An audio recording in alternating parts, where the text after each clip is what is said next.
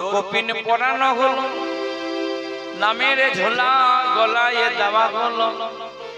দ্বাদশ সঙ্গে তিলক মন্দির রচনা করা সমস্ত কিছু প্রভু নিজের হাতে করল। ভক্তরা বলল, প্রভু, গর্তটা কেমন হবে? বলো গর্তটা লম্বা লম্বা হবে? সবাই মাথায় হাত। লম্বা কেন হবে? বৈষ্ণবের তো সমাধি হবে, একটা ভিতরে কুলঙ্গার মতো করতে হবে, বসিয়ে হয়। লম্বা করতে বলল কেন? প্রভু যা বলেছে তাই করতে হবে। তাই সমুদ্র গর্ভে বালি কেটে লম্বা গর্ত করল, লক্ষ্য করো। লম্বা করে গর্ত করে এবারে সমাধি দিতে হবে। না বলল, প্রভু বলল, তোমরা লম্বা করে শোয়াই বসাবো না বলল, না, কেন? বলল, হরিদাস, জন্মটা হয়েছে মুসলমানের জন্মটা মুসলমানের ঘরে। কিন্তু তার কার্যকলাপ এবং সে বৈষ্ণব ধর্ম আচরণ করেছে বলে এই নয় যে তাকে সমাধিস্থ করতে হবে। তাকে কব্বরের মতো করে দিতে হবে। হুম? তাই কব্বরের মতো করে যেই না শোয়ানো হলো, এবার বলল, প্রভু, মাটি কে দেবে আগে? মাটি দেওয়ার একটা ব্যাপার আছে। কে আগে দেবে? প্রভু বলল, আমি দেব।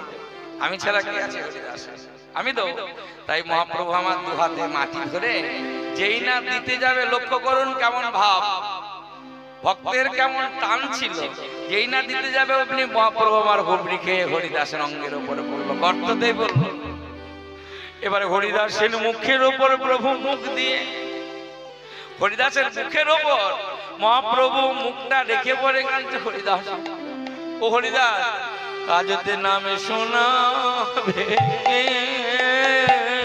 এবারে নামে শোনাবে কে? বলো বলো নামে শোনাবে কে?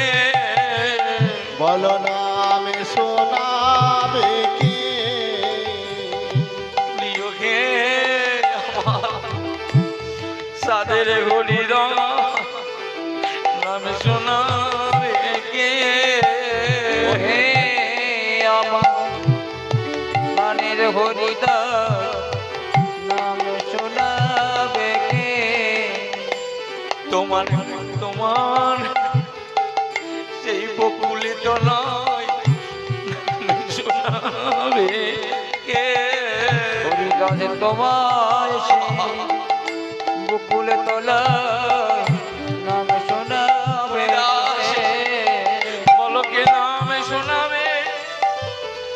সকালে বেলায়, সন্ধ্যে বেলায় আমি তোমাকে আজ দেখতে পাবো না। একবারে কথা বলো। ওহো প্রাণের হরিদাস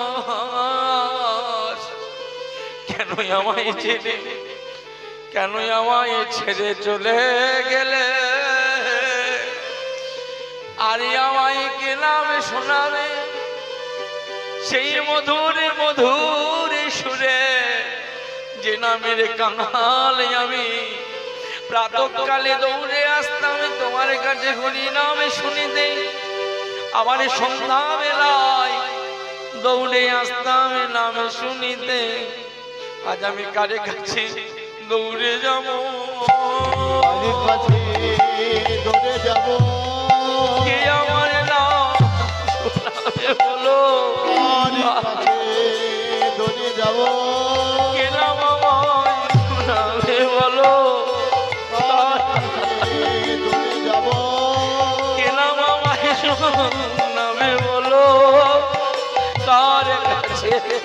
দৌড়ে যাব।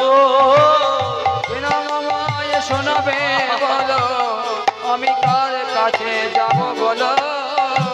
ভক্তরা মহাপ্রভুকে গর্ত থেকে তুলে বলছে প্রভু এমন করে কাঁদলে হবে। যে চলে গেছে সে তো আর ফিরে আসবে না। এখন তো সমাধির ব্যবস্থাটা করতে হবে। তাই প্রভু আমার দুই করে ধরি ভালো অঙ্গেতে দিল। তুই কর ধরে ভগবান অঙ্গেতে দিল। তুই করে ধরে অঙ্গেতে দিল। কর ধরে বালু অঙ্গেতে দিল। মহাপ্রভু বলে এই সমুদ্র মহাতীর্থ হইল।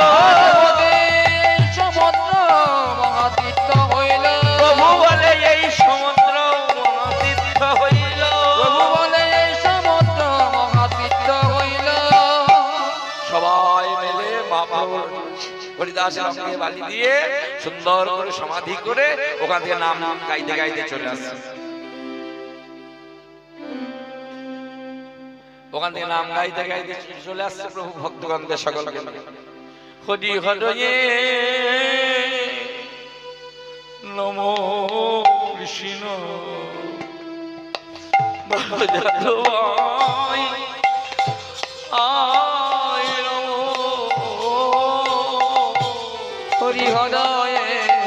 নম কৃষ্ণ। যদবাই নম।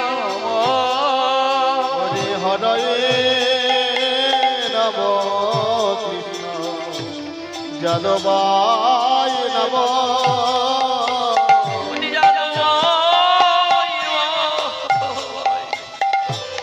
হরি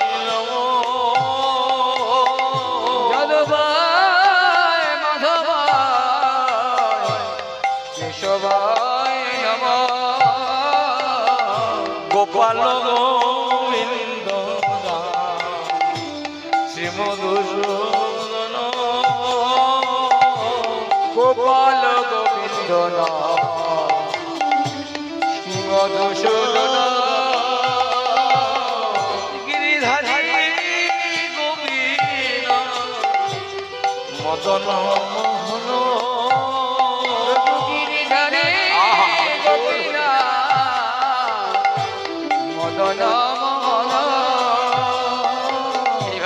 হরিনাম গাইতে গাইতে প্রভু আলো আনিলেন। কোথায়? হরিদাসের সেই বকুল তলায় মহাপ্রভু বলল, শোনো, এই কাদা মৎসব করতে হবে যেটা হয়েছে এখানে, কাদা মৎসব করতে হবে। চলো, আমরা ভিক্ষায় বেরিয়ে পড়ি এবার। সময় বিলম্ব না করে চলো ভিক্ষায় যাব।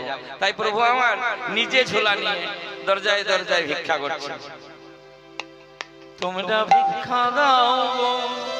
আস্তে ওগো নগরবাসী